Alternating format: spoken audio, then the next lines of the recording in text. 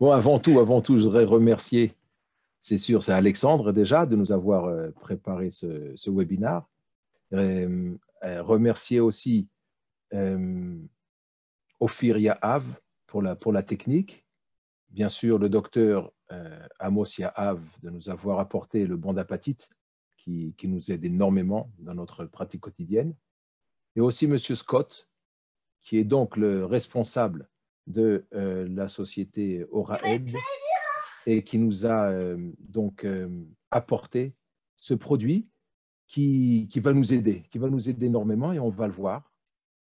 On va le voir maintenant, parce que nous allons commencer notre webinaire maintenant. Voilà. Donc, merci à vous tous d'être présents aujourd'hui. Vous, dentistes de la métropole, mais aussi des dom-toms. Euh, Nous avons aussi des praticiens de, Belgique, d'Espagne et aussi des francophones habitants en Afrique et aussi en Corée. Donc, merci à vous tous d'être présents. On va être concis aujourd'hui, puisque c'est dimanche, mais il faut qu'on sorte avec un très bon enseignement aujourd'hui.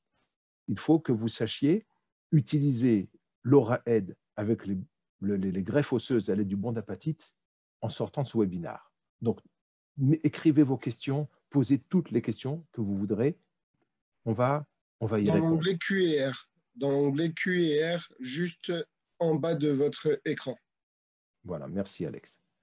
Alors, l'intérêt de l'ORAED euh, dans les greffes à l'aide du bon d'apatite. Nous allons séparer ce webinaire en deux parties. La première partie va consister à comprendre qu'est-ce que c'est que ce produit, ce ORAED, qui existait, qui existe dans, et qui sert à plusieurs, qui a plusieurs applications.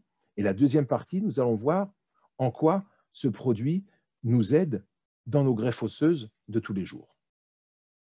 Alors, ça s'appelle aussi pansement intraoral, aura-aide, et nous l'avons appelé aussi matbeka, qui veut dire autocollant, tout simplement pour ne pas à chaque fois dire pansement intraoral, euh, ça fait un peu long.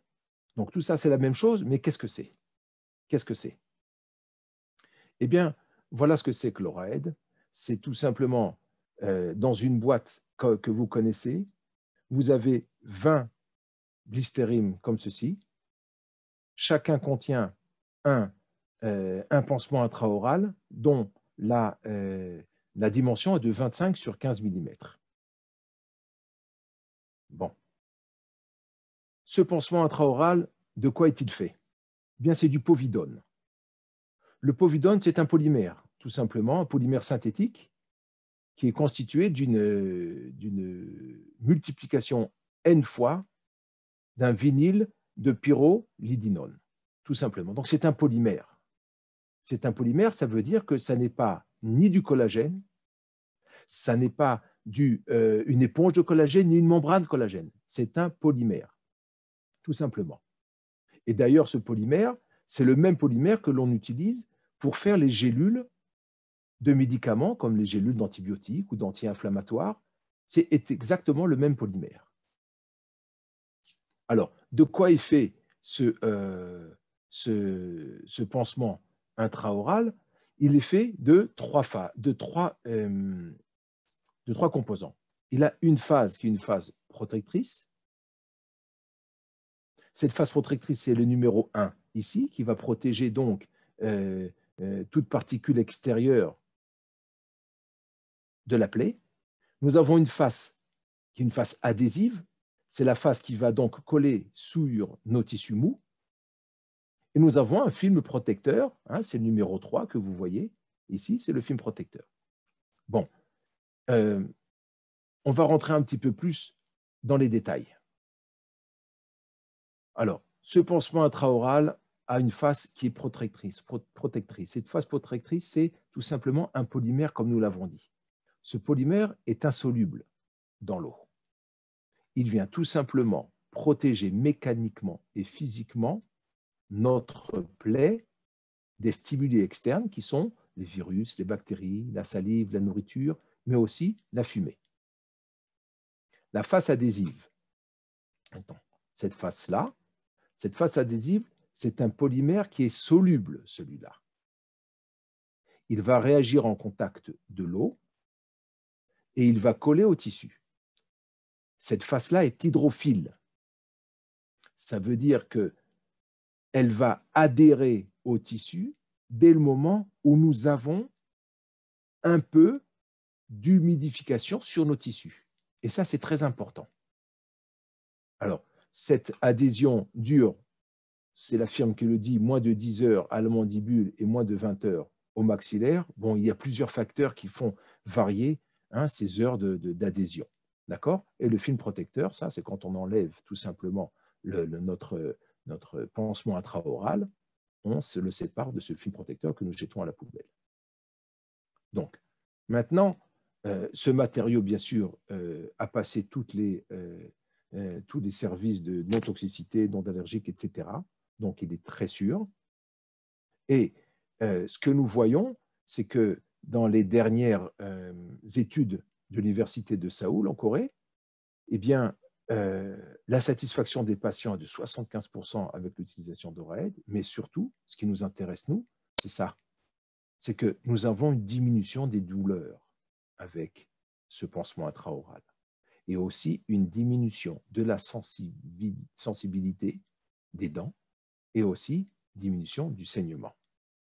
De telle sorte que lorsque vous euh, mettez ce pansement intraoral sur une plaie qui est saignante, on s'aperçoit que nous avons, grâce à ce pansement intraoral, une augmentation de la concentration en collagène au niveau de notre plaie. Et aussi une augmentation de la concentration des vaisseaux sanguins. Pourquoi? Tout simplement parce que ce, euh, ce protecteur, ce film protecteur, va empêcher les exudats de sortir de notre plaie, ces exudats qui sont pleins de facteurs de croissance, et va permettre une concentration donc en collagène beaucoup plus importante et beaucoup plus rapide. Et ça, un, pour nous, c'est un grand pas en avant et ça nous aide énormément. Alors, les caractéristiques et avantages de ce produit, alors, il protège les plaies intraorales de la nourriture, des bactéries, mais aussi de la fumée, etc. Et ça, c'est important pour nous parce que lorsque l'on met, on va le voir tout à l'heure, euh, euh, du bon d'apatite et qu'on doit le recouvrir, eh bien, nous allons voir tout à l'heure comment nous allons, nous allons euh, l'utiliser. Il aide à l'hémostasie. Il protège des irritations dues aux fils de suture. Vous savez très bien que lorsqu'on utilise des fils de suture qui sont des monofilaments, eh bien, ils peuvent irriter aussi bien les joues que, euh, la langue. Eh bien, lorsque vous mettez ce, ce, pansement intraoral sur les fils de suture, vous protégez de toute plaie des, fils de suture. Une forte adhésion, ça nous l'avons dit, c'est auto-adhésif avec la salive. Alors, avec la salive, je voudrais revenir un petit peu là-dessus. On va le voir tout à l'heure, comment l'utiliser? Il faut nettoyer vos tissus mous de la salive environnante. Il faut que vos tissus mous, votre gencive sur laquelle la madbeka va coller, soit humide, mais pas humide de salive. Vous savez comme moi qu'il existe plusieurs types de salive. Sur les salives, on va dire gluantes, eh bien sachez que la madbeka ne colle pas. Donc vous prenez une, une gaz légèrement humide, vous nettoyez les tissus mous sur lesquels vous voulez que colle donc le pansement intraoral, vous la nettoyez, avec, on va prendre une gaz sèche au début si vous voulez, pour bien nettoyer les copeaux de bande d'apatite, nettoyer bien de la salive et du sang, et après passer une petite gaz humide pour humidifier vos tissus s'ils ne sont pas humides. Les gens qui ont une bouche sèche, ça ne collera pas très bien. Il faut que ce soit humide parce que la couche interne est hydrophile. Et lorsqu'elle absorbe cette humidité, cette humidité, elle se transforme en gel collant. Les facteurs de croissance, comme nous l'avons dit, l'exudat qui participe à la cicatrisation reste eh bien, au niveau de la plaie et ça nous aide énormément. Ça réduit la douleur et ça, c'est vrai, ça réduit énormément la douleur. Les patients vous le diront eux-mêmes. Et euh, donc, évite tous les dommages pendant la période initiale de cicatrisation, le caillot, la fibrine, etc et pour vous le découper à la taille souhaitée Donc nous allons voir, ça ce sont toutes les caractéristiques et les avantages de ce produit.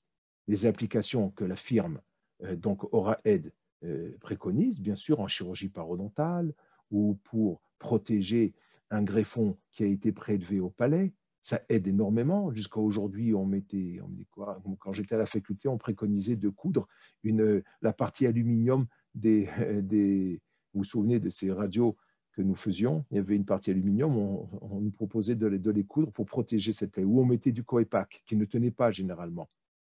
Eh bien, euh, ce, pansement intraoral colle, et je donne même un petit coup de, de, une petite suture pour le maintenir en place, et croyez-moi, ça aide énormément.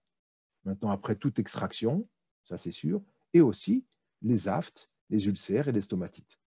Ça, c'est ce que préconise la firme, et ça aide beaucoup, c'est vrai, même quand vous faites, voilà, dernièrement, nous avons fait des phrénectomies, eh bien, nous protégeons les fils et, ça cicatrise vraiment beaucoup plus vite. Alors, comment on l'utilise? Comme je vous l'ai dit, on nettoie la muqueuse de tous les débris du bon d'apatite, du sang et aussi de la salive. Même si la firme vous dit que ça colle sur la salive, non. Dégagez, nettoyez bien cette salive-là, que les tissus mous environnant la plaie eh bien, soient dénudés de toute salive. On coupe donc le aura aide à la taille voulue du déficit osseux et on rajoute 3 mm de part et d'autre du déficit osseux pour que ça puisse coller sur les tissus mous. Hein, ça ne colle pas sur le bon d'apatite, ça colle sur les tissus mous. Vérifiez que les tissus mous sont légèrement humides et dans le cas contraire, eh bien, appliquez une compresse légèrement humide, c'est ce que nous avons dit. Lorsque vous mettez et vous, appliquez, vous appliquez le, le, l'aura aide, le pansement intraoral, appuyez 4 à 5 secondes pour le coller. Aussi bien en vestibulaire qu'en palatin, ou en vestibulaire et en lingual, appuyez 4 à 5 secondes fermement sur, le, pansement qui, est, euh, colle à la, muqueuse. Et on suture. Alors, beaucoup de questions m'ont été posées. Comment on suture le, le pansement intraoral? On va le voir tout de suite. Alors, ça, c'était la, définition, les généralités concernant ce polymère synthétique. Maintenant, en quoi ce polymère synthétique va nous aider pour les greffes osseuses que nous réalisons tous les jours à l'aide du bon d'apatite Alors, voyons ça. Lorsque, lors de l'extraction de cette prémolaire infectée, eh bien, nous avons, mis, le bon d'apatite, on sait très bien qu'on peut le faire. Nous avons quatre murs osseux. On découpe la, euh, la mat et généralement, on doit enlever un petit peu au milieu de la mat tout simplement à cause des dents collatérales, et on la colle. Alors, vous voyez, c'est propre. C'est nettoyé de tout débris de bon d'apatite, et c'est légèrement humide, ça colle parfaitement. 3 mm ici en vestibulaire, la même chose en palatin.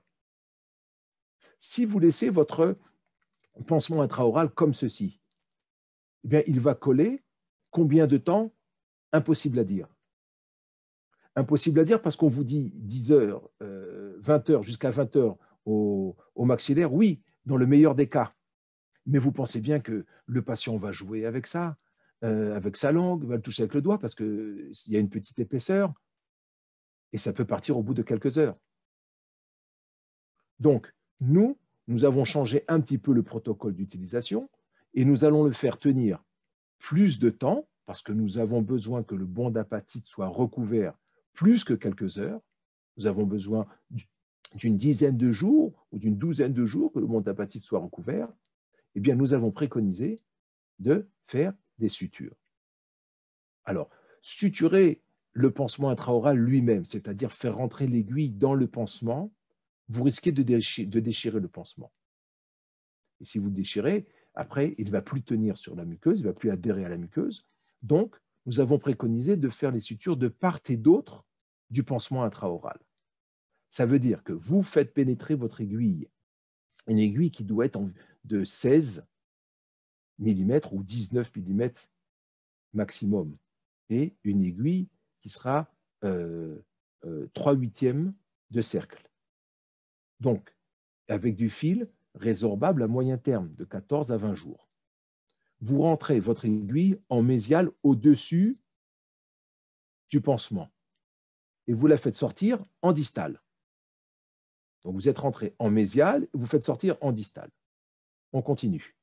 Une fois que vous avez rentré votre aiguille de mésial en distal, vous faites passer votre fil en palatin du côté mésial pour avoir la, première, on va dire comme ça, ligne du X que nous voulons obtenir. Et vous rentrez votre aiguille en mésial, encore une fois en palatin, pour la sortir en distal. Donc, pour retenir facilement, il y a un moyen mémotechnique, c'est que j'ai commencé en vestibulaire en mésial, je dois commencer à faire entrer ma, ma, mon aiguille en palatin aussi en mésial. Vous pouvez faire le contraire, commencer en distal, mais le tout, c'est de commencer toujours par le même côté, que ce soit en vestibulaire ou en palatin. Alors, vous pouvez faire sortir votre aiguille ici sur le pansement, ça n'est pas grave. Mais de pénétrer dans le pansement, de ressortir du pansement, vous risquez de le déchirer. Une fois que vous avez sorti votre aiguille en distal, eh bien, vous faites passer votre fil et vous suturez en X. Vous avez terminé. Donc, vous faites tenir votre pansement qui, lui, va adhérer grâce à sa face adhésive pendant plusieurs heures, mais il va rester pendant, plusieurs jours grâce à vos sutures. Et c'est ce dont nous avons besoin. Voilà ce que ça donne. Et ça, c'est au bout du septième jour. Alors n'ayez pas, n'ayez pas peur, vous allez avoir maintenant un pansement qui va être beaucoup plus fin que celui que vous avez, vous aviez. Pourquoi? Parce que nous savons que la partie interne est résorbable, la partie externe n'est pas soluble, elle va rester, et c'est ce qu'il nous faut. Alors, souvent, les patients vont dire écoutez, je pense que j'ai une infection, écoutez, c'est tout blanc. Il ne faut pas s'inquiéter. Hein? Maintenant, si la patiente eh bien, avale le pansement intraoral, ça n'est pas grave non plus, puisque c'est un polymère avec lequel on fait les gélules des, euh, des antibiotiques ou des anti-inflammatoires. Donc voilà comment ça se passe. Nous allons voir maintenant, à l'aide d'un petit film, comment, euh, comment on fait ces sutures-là, mais maintenant à la mandibule. Alors mon film devrait normalement démarrer.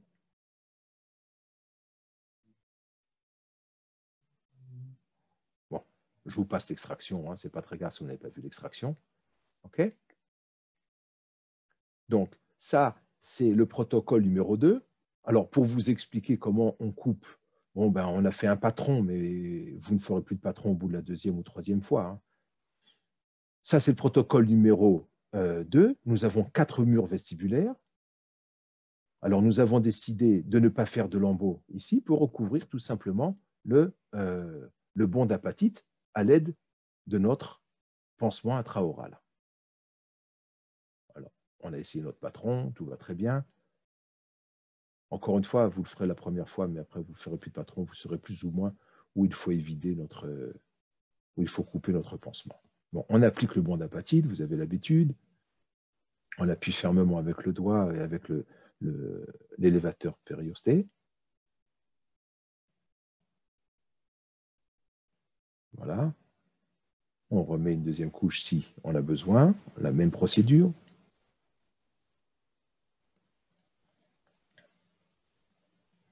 On enlève les excédents. Alors, on enlève les excédents toujours sans casser hein, le, bon d'apatite. Là, on a un bon, matériau compact. Alors, on a décidé du. Ça, c'est la deuxième, euh, la deuxième taille. Hein. vous n'avez pas besoin de prendre ceci. Hein. celle de 25 sur 15 est largement suffisante. Celle-ci fait le double. Voilà, on la découpe selon le patron.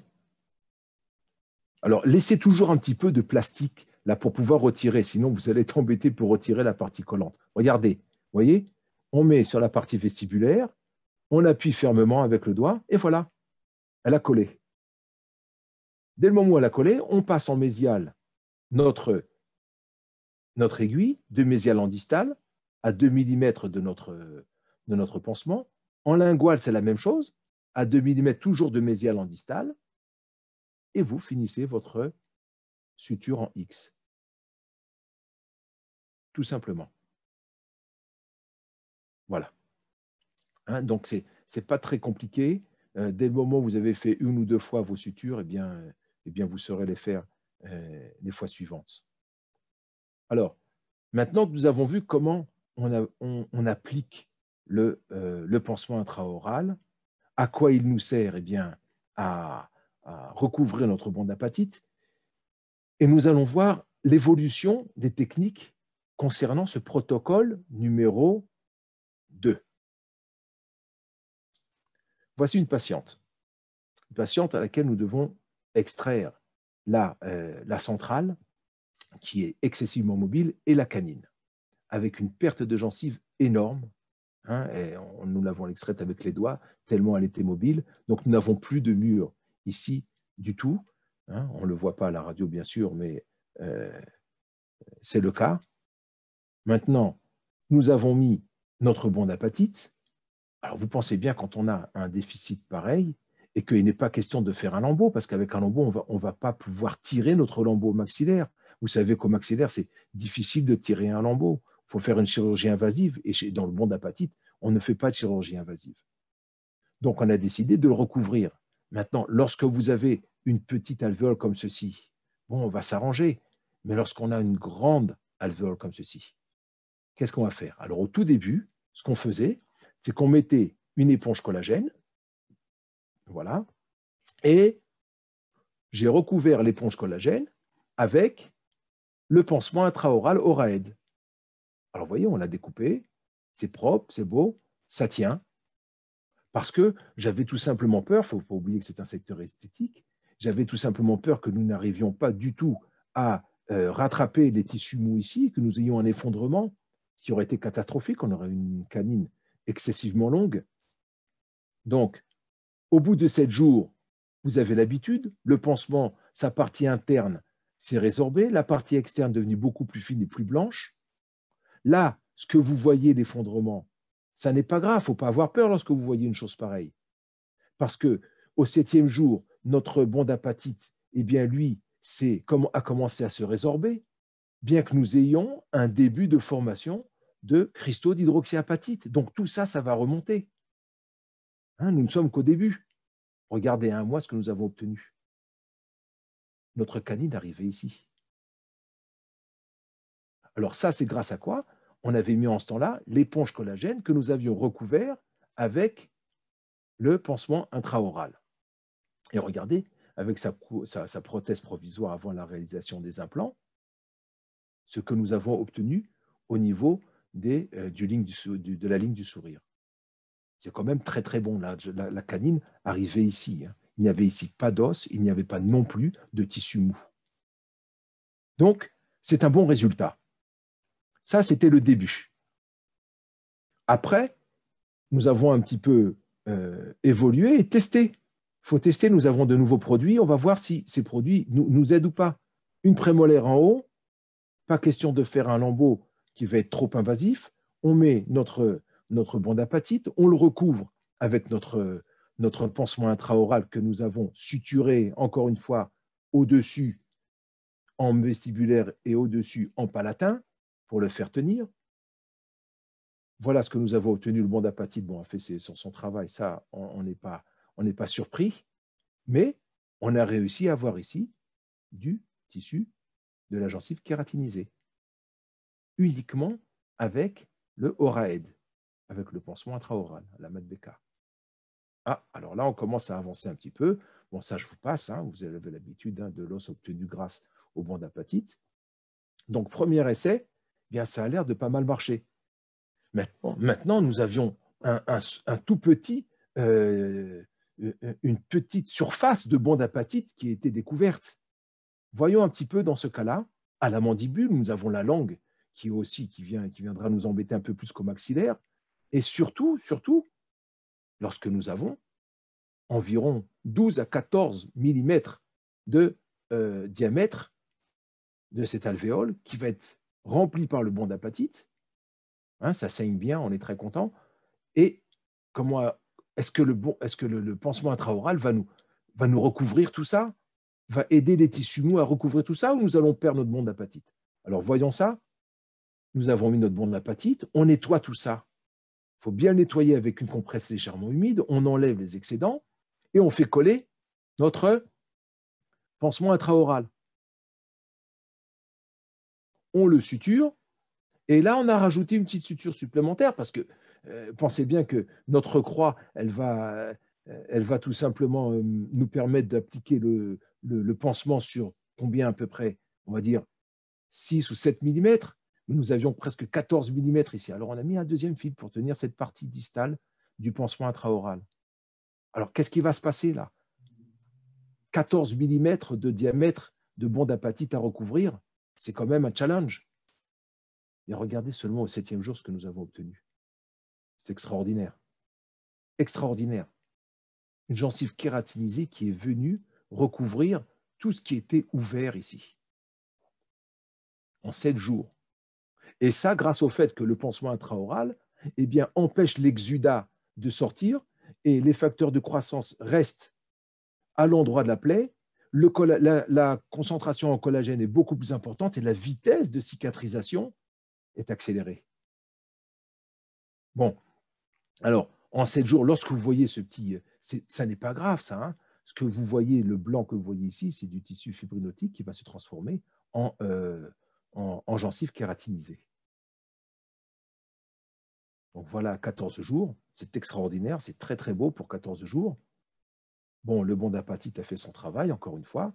Hein, nous avons mis nos implants comme il fallait, alors que nous avions vraiment une 6 qui était très très grosse avec une alvéole à diamètre important.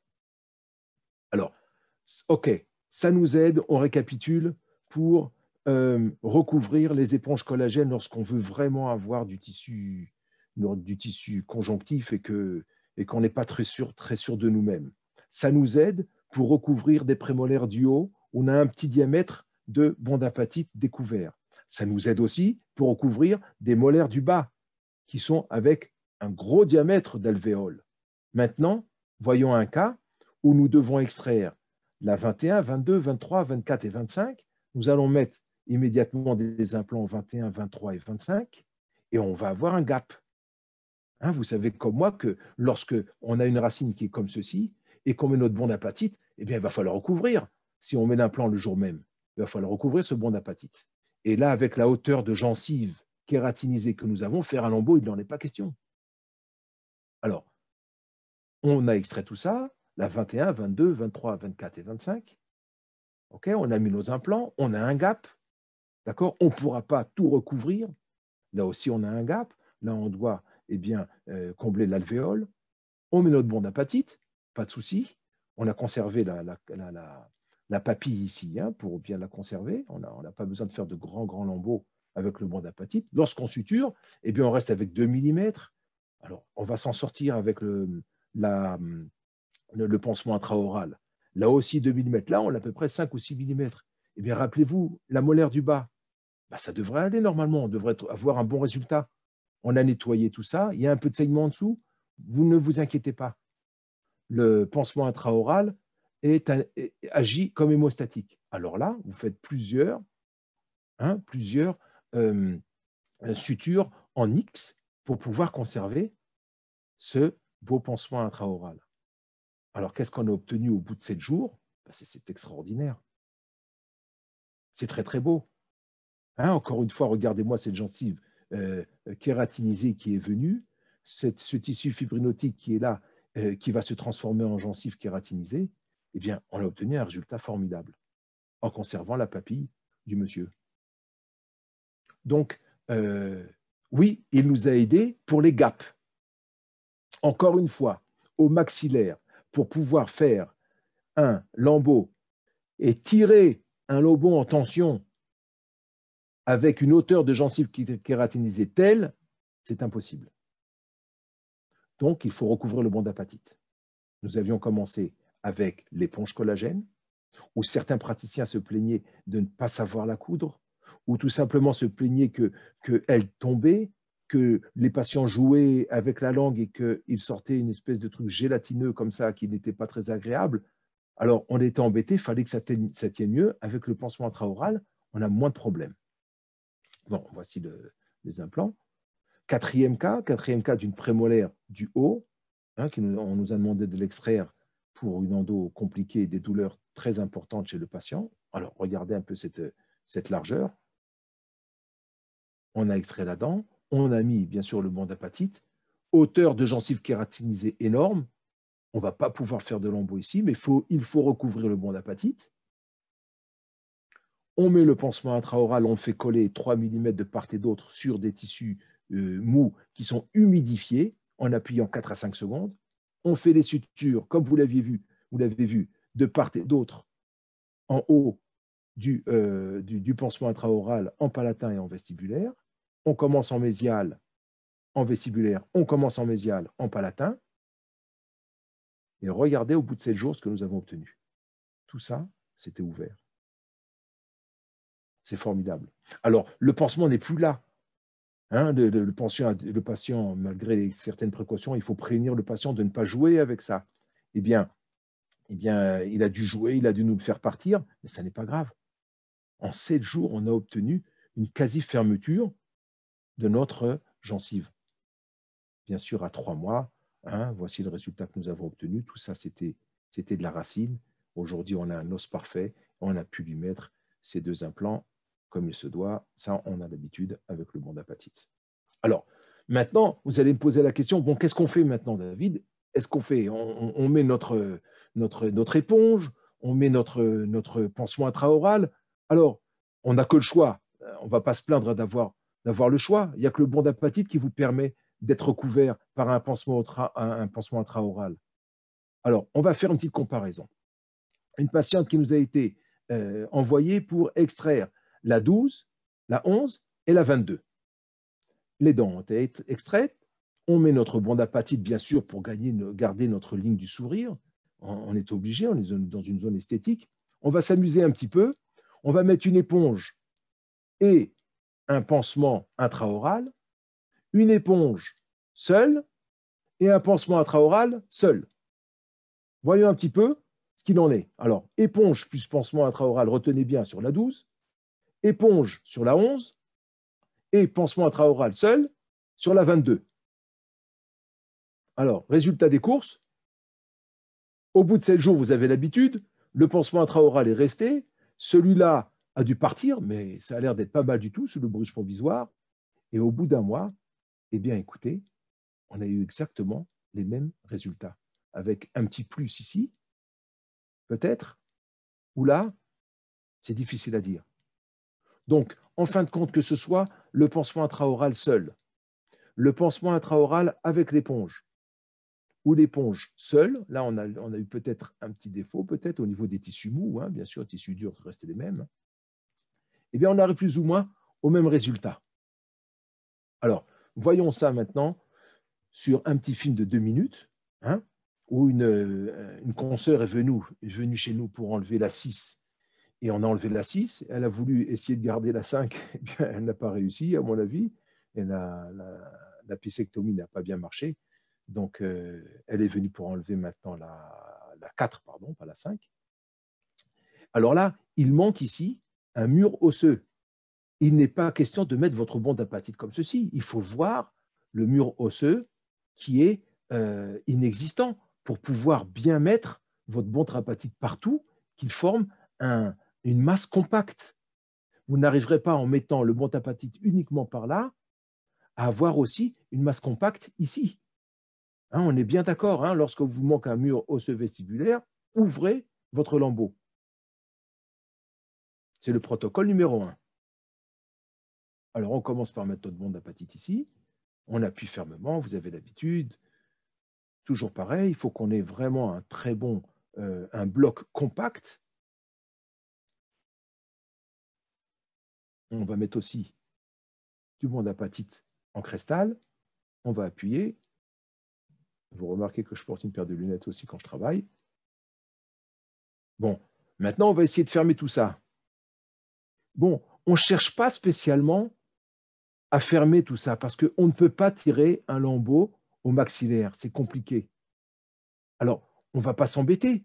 On va refermer comme il se doit. Ça, ça reste ouvert. Eh bien, on va mettre notre pansement intraoral. Malgré que nous ayons fait un lambeau. Nous avons protégé aussi l'incision de décharge, ici. D'accord? On appuie fermement hein, pour qu'il colle. Et voilà.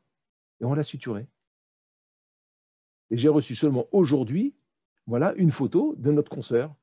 Regardez ça, ça doit être euh, à trois semaines. Elle a avoué n'avoir eu aucune douleur. Croyez-moi, les incisions de décharge, elles font mal, vous le savez comme moi.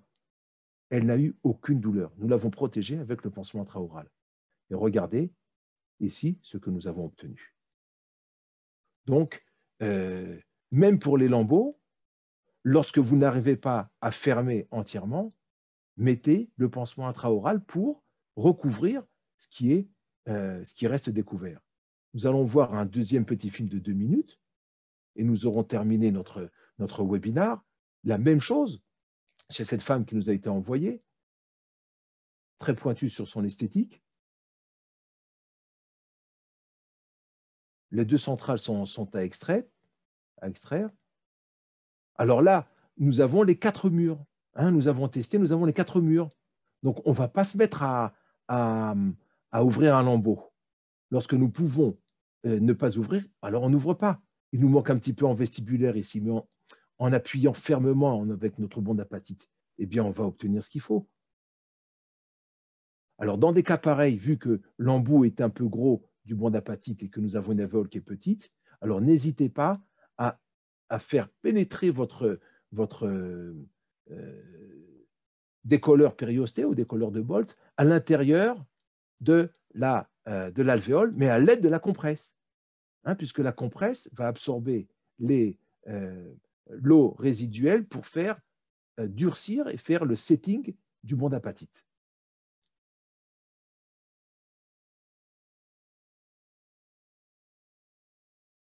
N'oubliez pas que nous sommes dans une région esthétique, nous sommes obligés d'avoir un résultat. Voilà, appuyez fermement, n'ayez pas peur. La compresse est indispensable. Sans compresse, ça ne marche pas.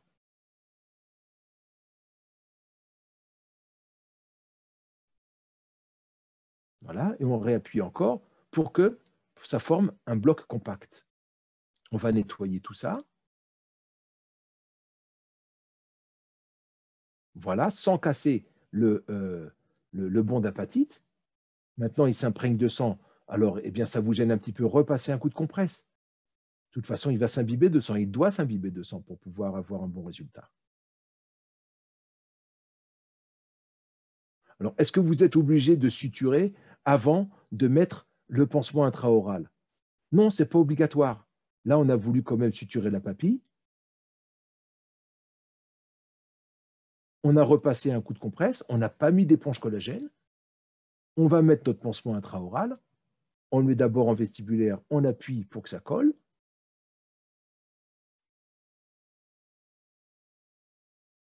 En palatin. Voilà. Voilà, ça tient parfaitement. Alors on va le suturer. Maintenant, si vous avez un bridge provisoire, on n'a pas besoin de suturer.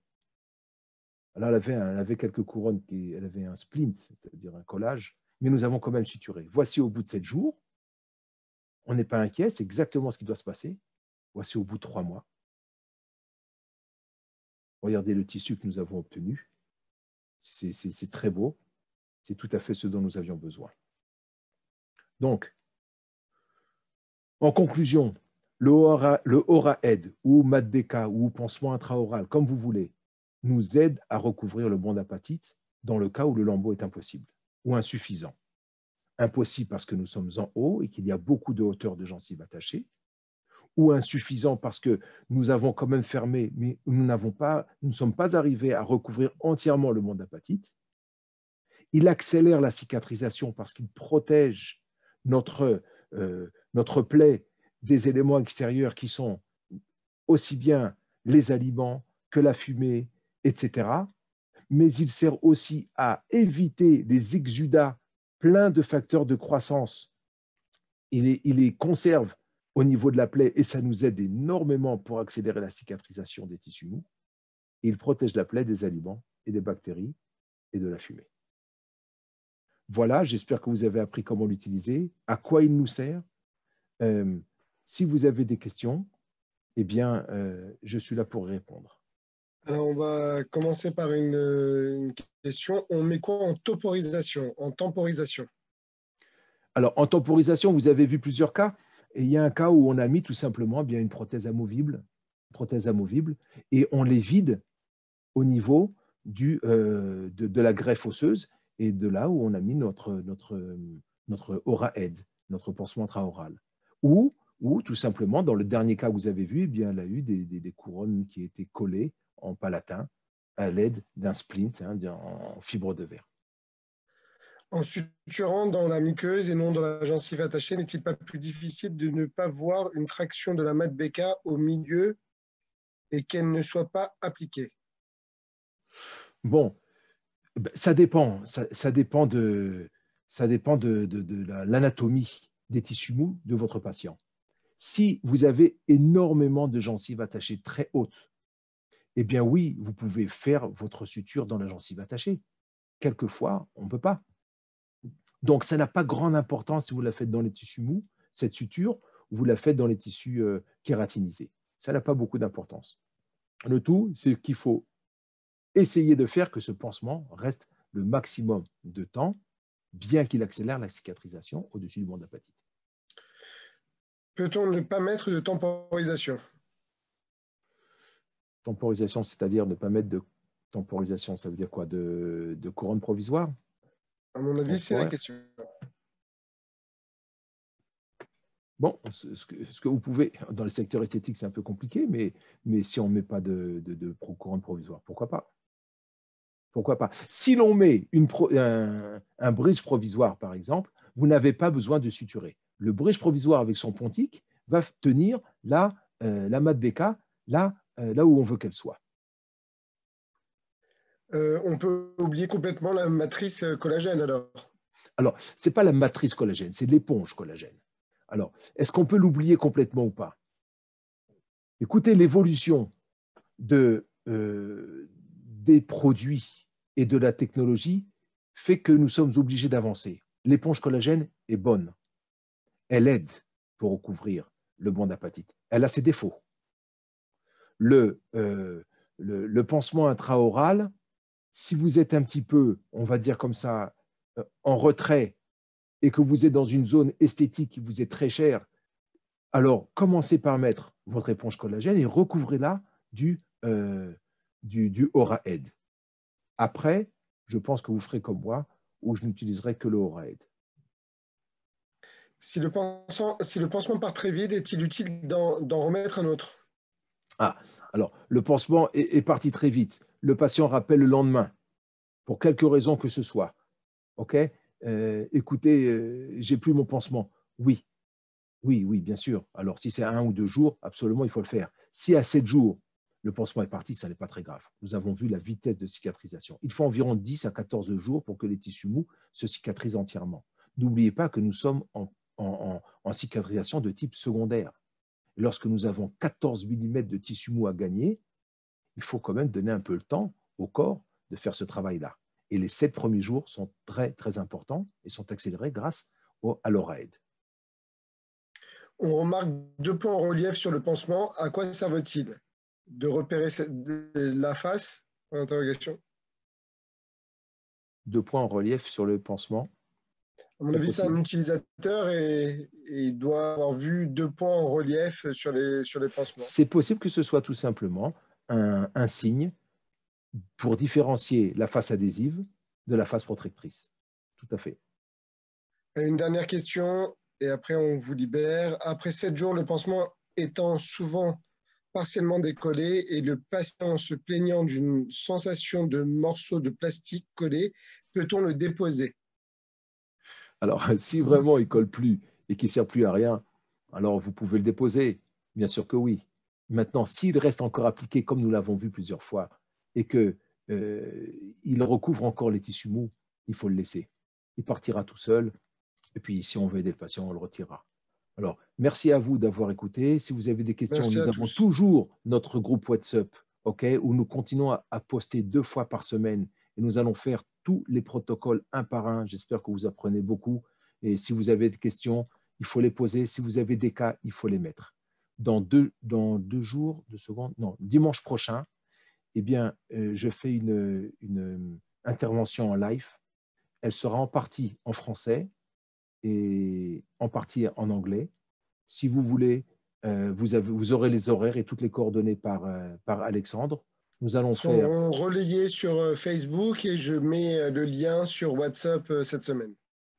Très bien. Nous allons faire chez un premier patient trois élévations du plancher du sinus par voie latérale à l'aide du bond d'apatite et une extraction avec pansement intraoral ORAED.